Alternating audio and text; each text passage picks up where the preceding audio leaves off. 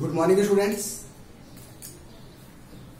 this is Anoop Srivastava welcome to golden public school Chuharpur Khadar greater Noida online classes today we study English grammar आज की इस video में हम मे का प्रयोग सीखेंगे और इस वीडियो के अंदर हम मे और कैन के डिफरेंस के बारे में भी बात करेंगे। यदि यह वीडियो आप सभी बच्चों को अच्छा लगे तो लाइक एंड सब्सक्राइब ज़रूर करें और रिंग बेल को ज़रूर प्रेस करें ताकि हमारा नेक्स्ट वीडियो आपको मिल सके। तो शुरू करते हैं आज का video use of may may को हिंदी में सकना बोलते हैं और कैन को भी, याद रखना, उसके डिफरेंस की मे और कैन में क्या डिफरेंस होता है, उसकी भी हम बात करेंगे। कैन का भी मतलब सकता या सकना होता है और मे का भी मतलब सकना होता है। मे का वही अर्थ है जो कैन का है। अर्थात, दोनों का हिंदी में मतलब एक ही है। कैन का भी और मे का भी।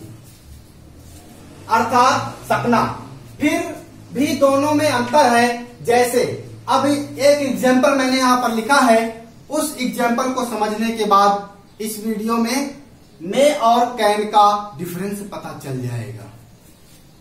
जैसे for example Rekha can do this work. Rekha can do this work. तो इसका अर्थ है कि रेखा में इस काम को करने की क्षमता है।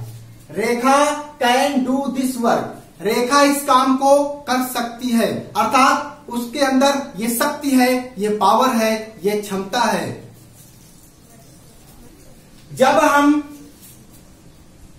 फिर हम इसी सेंटेंस को रिपीट करेंगे जब हम कहते हैं, रेखा में डू दिस वर्क तो इसका अर्थ है कि रेखा यह कार्य कर सकती है। उसे इस कार्य को करने की आज्ञा है। यह बात अलग है कि इस कार्य में सफल हो या ना हो। अर्थात, इन बिंदुओं से, इन लाइनों से आपको पता चल गया होगा कि मे का प्रयोग, मे का प्रयोग रिक्वेस्ट और आज्ञा के लिए भी किया जाता है। आज्ञा के लिए किया जाता है रिक्वेस्ट के लिए किया जाता है, उसमें रिक्वेस्ट जोड़ते हैं, आज्ञा जोड़ते हैं तो कैन और मे में यही अंतर होता है। कैन में कैन में जो है, आज्ञा और रिक्वेस्ट यूज़ नहीं होता है। मे में हम आज्ञा को भी देखते हैं। इससे ही इस डिफरेंस का पता चल जाता है कि मे का यूज़ कहाँ होता है और कैन का यूज़ कहाँ होता है? तो कुछ एग्जाम्पल्स में के हैं? उसे सॉल्व करेंगे और आपको ट्रांसलेट में भी आसानी हो जाएगी। और शुरू करते हैं ये ट्रांसलेशन में के कुछ यहाँ पे ट्रांसलेशन है? इनको सॉल्व करेंगे। जैसे फ़र्स्ट है, तुम उससे मिल सकते हो। अर्थात, एक आज्ञा दी गई है। तुम उससे मिल सकते हो। यहाँ पर आज्ञा दी गई है, तुम उससे मिल सकते हो। इसीलिए यहाँ पर मे का प्रयोग होगा। मे का प्रयोग होगा यहाँ पर। तो सबसे पहले हम सब्जेक्ट लिखेंगे। सब्जेक्ट क्या है? यू इसके बाद हेल्पिंग वर्ब कौन होगा? According to word order word order के अकॉर्डिंग हम सबसे पहले सब्जेक्ट लिखते हैं। उसके बाद हेल्पिंग वर्ब लिखते हैं। तो यहाँ पे हेल्पिंग वर्ब का वर्क कौन कर रहा है? मे कर रहा है यहाँ पर। हेल्पिंग वर्ब का वर्क कौन कर रहा है? मे। और ये पता चल रहा है कि कैन इसलिए नहीं यूज़ करेंगे क्योंकि इस सेंटेंस में मे इसलिए यूज़ करेंगे क्योंकि यहाँ पर आज्ञा है। तुम उससे मिल सकते हो। अर्थात कोई बाउंडेशन नहीं है। तुम उससे मिल सकते हो। तो यहाँ पर हम मे यूज़ करेंगे। यू में अब मेन वर्ब अब यहाँ पर अकॉर्डिंग टू वर्ड ऑर्डर यहाँ पर हम अकॉर्डिंग टू वर्ड ऑर्डर अब मेन वर्ब यूज़ होगी। मेन वर्ब क्या है इसमें? मेन वर्ब है मिलना और मिलने को इंग्लिश में मीट कहते हैं। तुम उससे मिल सकते हो। अर्थात तुम्हें आज्ञा है कि तुम उससे मिल सकते हो। कोई बाउंडेशन नहीं है। इससे, इसलिए हमने यहाँ पर मे यूज़ किया है। तो मेन वर्ब क्या है इसकी? Meet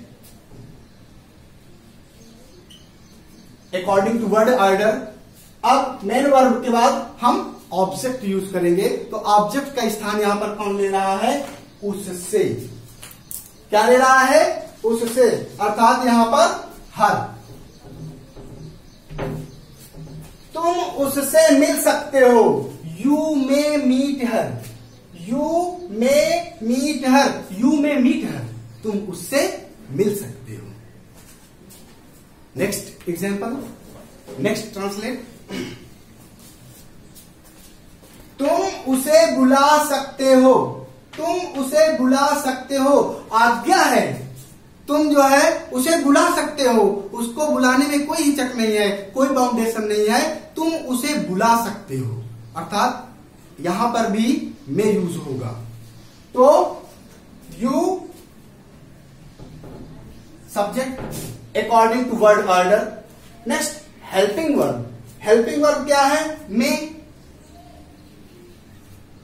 अब इसके बाद जो है मेन वर्ब अरे बुलाने की क्या होती है? जब हम किसी को बुला बुलाते हैं तो इनवाइट करते हैं। क्या करते हैं? इनवाइट करते हैं तो यहाँ पर तुम उसे बुला सकते हो, या तुम उसे बुला सकती हो। यहाँ पे बुलाने को इंग्लिश में क्या कहेंगे? इनवाइट कहेंगे।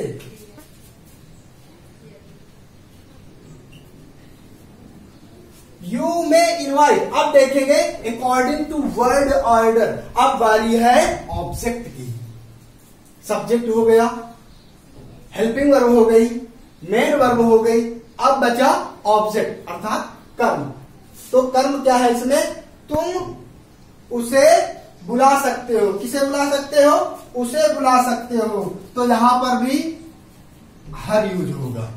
तुम उसे बुला सकते हो। यू मे इनवाइट हर तुम उसे बुलवा, बुला सकते हो। You may invite her next next translate करेंगे, तुम अंदर आ सकते हो। अब यहाँ पे गौर करेंगे, तुम अंदर आ सकते हो। किसी ने पूछा मे आई कम अर्थात उसने आज्ञा मांगी रिक्वेस्ट किया, क्या मैं अंदर आ सकता हूँ? तो जवाब में क्या आया? तुम अंदर आ सकते हो। आज्ञा है तुम्हें अंदर आने की। अर्थात यहाँ पे भी मे यूज़ होगा। ध्यान रखना, जहाँ पे आज्ञा हो, वहाँ पे मे यूज़ करते हैं। कंफ्यूज नहीं होना कैन नहीं लगाएँगे। कैन तो तब लगाते हैं, मैं खेल सकता हूँ। आई कैन प्ले उसमें कोई आज्ञा वाज्ञा नहीं है, वो तुम फ्री हो, स्वतंत्र हो। तो ट्रांसलेट करेंगे, तुम अंदर आ सकते हो तो सबसे पहले you according to word order सबसे पहले सब्जेक्ट लिखा जाता है। तो सबसे पहले हमने सब्जेक्ट लिखा, उसके बाद फिर है helping verb according to word order अब यूज़ होगा मेन वर्ब मेन वर्ब क्या है? तुम अंदर आ सकते हो। अरे आने की क्या होती है? कम होती है। अब अकॉर्डिंग टू वर्ड ऑर्डर अब आएगा ऑब्जेक्ट ऑब्जेक्ट क्या है? अंदर है ना अभी। अंदर बच्चा है तुम हो गया। आने की हो गई, सकने की हो गई, सकते की हो गई। अंदर बच्चा है जो ऑब्जेक्ट का काम कर रहा है तो अंदर की क्या होती है? You may come in in means अंदर। तुम अंदर आ सकते हो। नेक्स्ट ट्रांसलेशन क्या मैं घर जा सकता हूँ? इसमें भी रिक्वेस्ट की जा रही है, पूछा जा रहा है। क्या मैं घर जा सकता हूँ? तो अकॉर्डिंग टू वर्ड ऑर्डर क्या मैं घर जा सकता हूँ? तो जब डब्ल्यू फैमिली क्या कब, कैसे शुरू में आ जाए? तो सबसे पहले हम हेल्पिंग वर्ब लिखते हैं। तो यहाँ पे लिखेंगे मे फोर्थ नंबर अब इसके बाद, क्या मैं घर जा सकता हूँ? अब इसके बाद according to word order helping verb के बाद हम क्या यूज़ करेंगे? Subject may I.